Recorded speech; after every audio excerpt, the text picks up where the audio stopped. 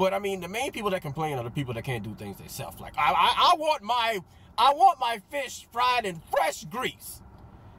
Really? Well, first of all, I, I've seen you fry fish, and your grease didn't look clean at all.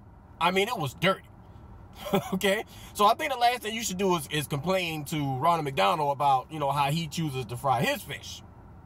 Okay, especially if you don't fry yours in, in, in, in fresh grease. I mean, that that would be uh hypocrisy. Is that a word? A hypocrite? Hypocrisy? Okay, that's a word. It's a word today. Hypocrisy is a